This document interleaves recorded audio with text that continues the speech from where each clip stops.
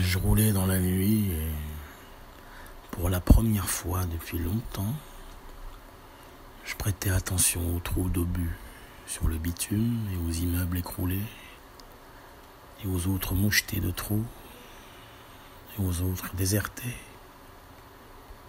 Pour la première fois, j'ai compté au fur et à mesure le nombre de checkpoints qui nous séparaient de la maison, qui n'est pas notre maison. J'ai tout vu j'ai compté. J'ai vu tous les immenses posters des leaders accrochés sur les poteaux électriques, sur les immeubles, sur les lampadaires, sur les voitures et sur les arbres. J'ai vu les mosaïques de photos de martyrs placardées à chaque coin de rue. J'ai vu l'horreur des ombres sur tous ces visages à la lumière des phares de ma voiture. Je roulais je voyais les visages fantomatiques des hordes de l'infâme s'animer dans la nuit. Je voyais tout.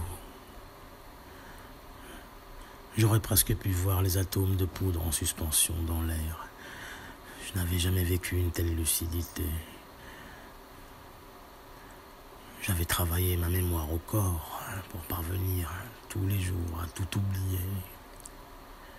L'habitude m'avait aidé à anesthésier toutes les images et la démence et la déchéance. L'habitude et le quotidien m'avaient aidé à ne plus y prêter attention, parce qu'on s'habitue à tout. Je m'étais habitué à ce paysage, 11 ans de guerre civile, 11 ans, c'est long, on s'adapte. La rétine et le cerveau classent les images dans la case de ce qui est connu, ce qui est connu devient banal. On ne remarque plus les nouveaux posters et photos qui envahissent la ville, ni les, nouveaux trous, ni les nouveaux impacts. Pas plus que le vide laissé par ceux qui sont morts la nuit d'avant. On ne fait plus le bilan de ce qui est parti, de ce qui a changé, de ce qui a muté d'une semaine à l'autre, d'un mois à l'autre, d'une année à l'autre. Ce soir, je voyais tout.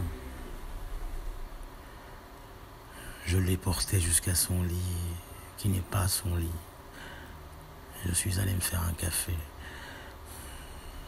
J'ai ouvert un nouveau paquet de cigarettes et je suis venu m'asseoir ici, sur une petite table habituelle près de la fenêtre. J'ai longuement regardé le tas de feuilles blanches et le stylo, mais je n'ai aucune envie d'écrire.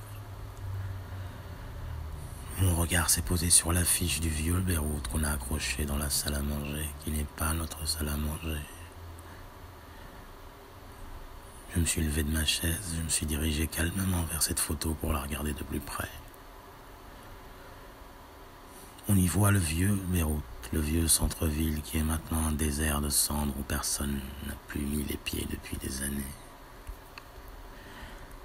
J'y regardé attentivement les voitures des années 60, les détails des costumes que portent les hommes, les rails du tramway. Je les décrochais du mur je suis sorti sur le balcon, j'ai pris mon briquet, j'y ai mis le feu par l'un des coins. Je l'ai regardé se consumer, puis une fois brûlé, j'ai pris l'arrosoir pour aller remplir la cuisine avant de retourner sur le balcon pour donner de l'eau aux plantes de jasmin et au basilic. Je suis retourné m'asseoir sur ma chaise et j'ai pris le bic noir entre le pouce et l'index, puis je l'ai reposé sur la table. Je n'avais rien à écrire. Je n'en avais pas envie. Je n'avais pas envie de mots. Il n'y avait pas de mots. Il n'y en avait pas parce que les mots sont le sens et que ce soir il n'y a plus aucun sens.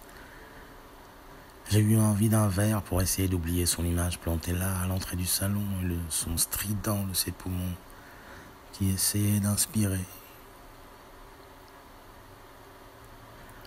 Je me suis servi un whisky, je suis sorti sur le balcon pour voir le soleil se lever. Je suis allé dans sa chambre pour vérifier qu'elle dormait bien, j'ai remonté le drap jusqu'à ses épaules pour l'aborder alors que il fait chaud et que je suis en sueur. J'ai fait ça parce que c'est tout ce que je sais faire. Je ne sais rien à part l'aborder et m'occuper avec elle des plantes en pot sur le balcon. Je me suis resservi un verre, puis un autre, puis un autre. pour essayer de faire la peau à ma mémoire, à mon cerveau. J'ai repensé à elle debout, tremblante, qui me suppliait des yeux, toutes les autres images que j'avais enterrées ont rejailli dans ma tête. Ses yeux, cette nuit, ont ressuscité des milliers d'images évanouies. Elles sont revenues toutes, une par une, parmi les morts. Elle est ma mémoire. Elle est toutes les mémoires. Elle est la conscience du pays qui suffoque. Son corps n'a pas voulu tout oublier, ni s'habituer, elle n'a pas pu. Les images de l'horreur reviennent dans ma tête en désordre. J'ai oublié toute la chronologie de l'abjection.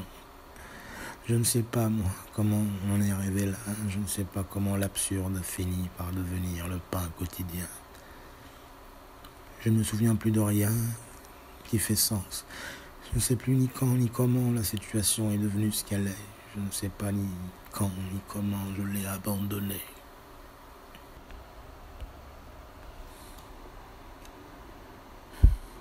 Je ne sais pas ni quand ni comment on a glissé jour après jour, semaine après semaine, année après année vers la démence. Je ne sais plus ni quand ni comment elle a arrêté de me parler. Moi, tout ce que je sais, c'est que j'ai ouvert la fenêtre un matin, j'ai trouvé une guerre civile.